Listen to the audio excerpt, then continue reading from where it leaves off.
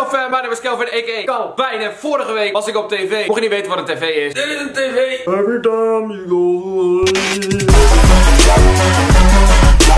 een nieuwe camera mocht je nou afvragen, hé, hey, wat is dat voor raar debiel beeld? Zeg het dan even, want ik heb geen idee wat ik doe. Ik ben niet de techneut, oké? Ik ben geen technician, ik ben gewoon een guy die probeert te grappig te doen en niet kan ademhalen. Want ja, dit is wat...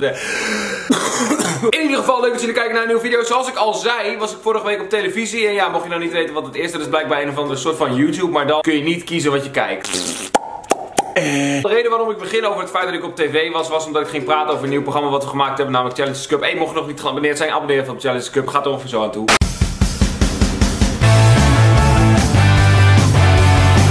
Aflevering van de Challenge Cup staat online en ook, ook de tweede af. Boy, yo, shit is going fast, boy. Maar ik was bij Humberto Tan om te praten over de Challenge Cup samen met een jongen genaamd Peter. Hey, Petertje. Maar het grappige was gewoon, ik ging daarna naar Groningen toe. En als ik in Groningen ben, dan zie ik mijn ouders weer, dan zie ik allemaal familieleden. Dan ga ik naar het voetbalveld en dan zijn er allemaal mensen uit mijn oude dorp. En die hebben dan maar één ding te zeggen, namelijk... Oh ja, we zijn mooi op tv, hè. Dat is helemaal fantastisch. Maar deze keer was er iets anders. Deze keer was uniek. In plaats van dat mensen begonnen over het feit dat ik daar zat en aan het praten was over allemaal hele mooie dingen, hadden ze het eigenlijk maar over één ding, namelijk mijn trui. Het was echt zo, zo, en kun je me dat shirt uitleggen of zo? Heb je tegenwoordig ook al een eh, stylist of zo? Of eh, hoe zit dat? Kan er niks aan doen dat ik een fucking stijl gekomen ben, oké? Het is echt een van de meest debiele dingen die ik ooit heb gezegd. Maar goed. Maar goed, de reden waarom ik zo lang op het onderwerp heen lul is omdat ik jullie nu even duidelijk wil maken dat je moet abonneren op mijn kanaal. Hey, join the Kel fam. Doe het, abonneren op mijn kanaal. Elke week twee leuke video's. Zo, Maar daarnaast ga ik een video maken over outfits van YouTubers. Want ja, het is steeds meer algemeen bekend dat YouTubers steeds meer centjes verdienen om mooie outfits te kopen. En normaal gesproken doe ik dat niet. Want ja, deze trui was soms met 12,5 euro bij de kringloop. Maar YouTubers gotta do what he's gotta do, right? Right? Nee, wat wel een trend is van dit jaar is dat YouTubers steeds meer bewust zijn van het feit dat ze een lichaam hebben waar kleding op moet. En dat dat toch wel een beetje moet representen wie ze dan zijn. Eh, als ik het over kleding heb, heb ik trouwens geen idee waar ik het over heb. Maar ik vind bepaalde dingen gewoon mooi en bepaalde dingen ook niet. Oké, dankjewel. En daarom heb ik het briljante idee bedacht, namelijk outfits van YouTubers raden. Let's go! Trouwens, heel even shout-out aan deze fanaccount. Hey, I love you. You're the best, man. I love you. Go follow calvinefan.xoxo. Hey, hey. De tijd dat ik filmpjes maakte waarin ik meteen overging naar het onderwerp was zeg maar nooit. Oké, voor de mensen die nog niet begrijpen wat ik ga doen. Ik zie eerst een foto van een outfit van iemand en dan moet ik raden welke YouTuber. En dan is er eigenlijk, je, je ziet het wel. Oké, je begrijpt hem vast. De eerste outfit, oké.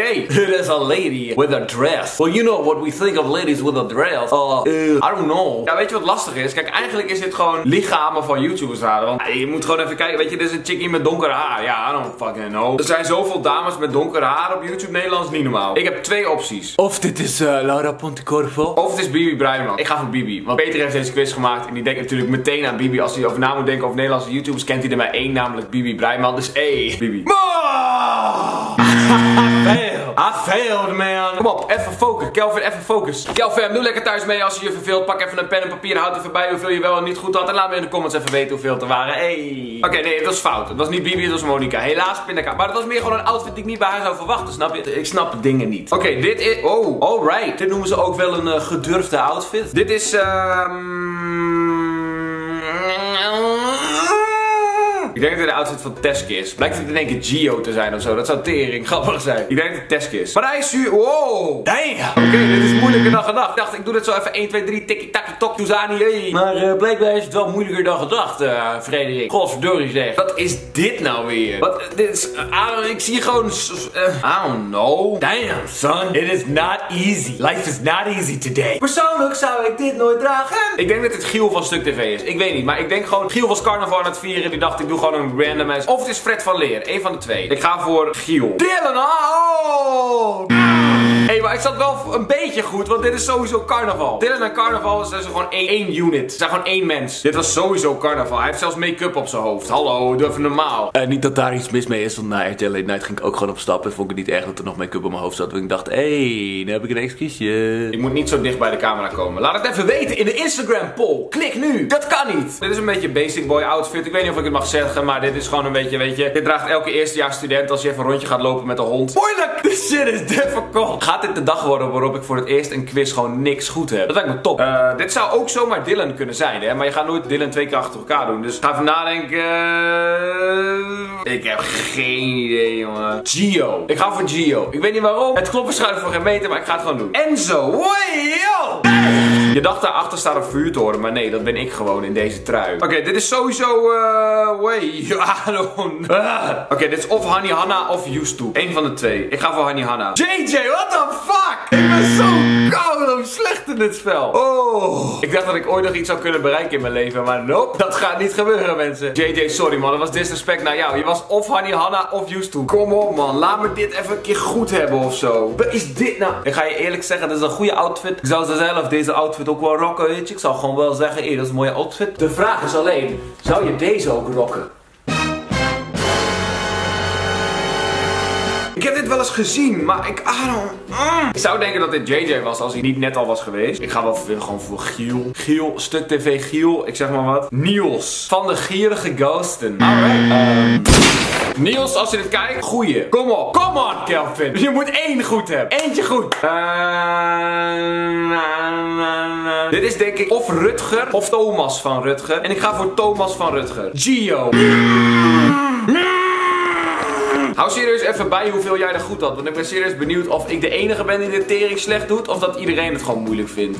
What is this? I don't get it. I just don't get it. It is really difficult. Is dit een man of een vrouw? Ik denk dat het een man is. Kom op, Kelvin. Het is een shirt van Bob Marley. Ja, het is... Ik denk dus dat het Koen Kardashian is. En dan denk je, hè, wie is Koen Kardashian? Nou ja, dat is deze jongeman. Hallo, Koen. En als je nou wist wie Koen Kardashian was en je afvraagt, hé, hey, waarom denkt Kelvin Eek aan Koen Kardashian? Want heeft hij er nog nooit over gehad? Nou ja, ik weet dat Peter en Koen hebben dit uitgezocht voor een van de items wat we laatst hebben gemaakt. Dus waarschijnlijk was Koen de guy die dacht, ah, ik doe mezelf er ook even bij. Dat is leuk. Ik ga voor Koen. Ja hoor, hey! Ehi, ehi, ehi, ehi, tinko sprrr, pa, pa, pa, pa, pa, pa, scrive, pa, pa, eh, pu, pu, Ik zeg je eerlijk, man, dit is één leep outfit, man, bro. Ik vind het echt een mooie outfit. Dit vind ik echt mooi. Waarschijnlijk is dit Anna. Want Anna heeft altijd de weird ass shit aan. En hey, no disrespect, cause I love you. You my girl, man. You know what's up. Ja, dit is ook echt zo'n Anna-foto. Zo van, oh, kijk me staan in de straat met mijn telefoon. Uh, busy ass de businessvrouw uithangen. Oh, er wordt een foto gemaakt. Ik heb het niet eens door. Waarschijnlijk is Hey, ja hoor. Precies zoals ik had gedacht. Dit is, um, ik denk dat dit Masha is. Hey, uh, ik wil niet overkomen als koudo arrogant, maar ik vind mezelf wel goed. Dus uh, wil je misschien een keer met mij op date? Oh, hoezo dan? Ja, ik kan heel goed outfits van YouTubers raden. Oké. Okay. Dit is Joy Beautyness.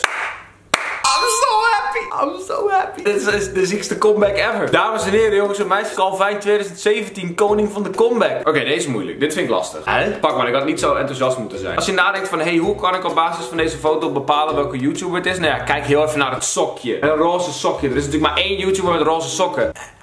Denise. Ik ga voor Denise. Van Rutger. Denise. Bibi Bra.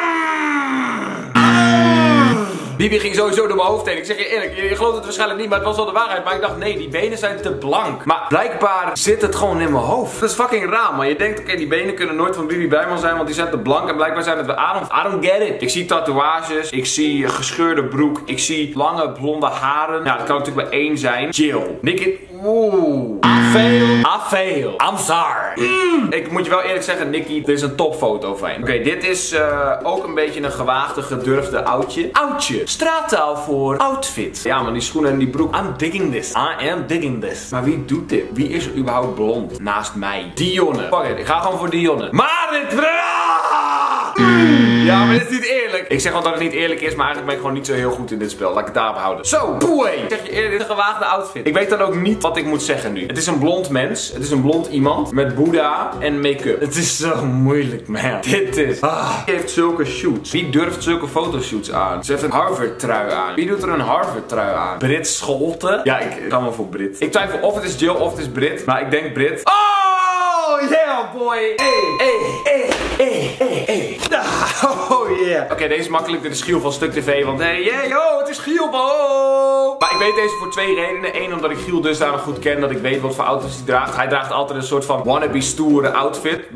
I love you. Maar ik ken ook deze foto gewoon al. Dus hey, ja. Oké, mijn eerste keuze gaat uit naar Thomas van Stuk TV. Want één, ik was net al bij Stuk TV. Omdat Giel, en dan zou het logisch zijn als er nog iemand anders. En daarnaast Thomas is ook wel een beetje die, die nette guy, toch? Als hij een keertje naar een soort van bruiloft gaat of zo, dan heeft hij wel zo'n pakje aan, toch? Is Thomas van Stuk TV. Kai van Oké, oké. I'm not done yet. Ja, wat is, wat is dit nou? Dit is gewoon weer dezelfde foto, maar dan iemand anders. Dit is eh, ook zo'n, dit is ook zo'n concentrate bold type. Dit is gewoon eh Rijk, Rijk Hofman. Kai Gorgels. Ik kan letterlijk niks. Ah. Was dit nou de eerste keer dat je een video van mij keek? Dan vind ik dat hartstikke leuk. Abonneer even op mijn kanaal. Join de Kel Fam. Volg me op Instagram. Like deze video. En I see you Saturday. Bye.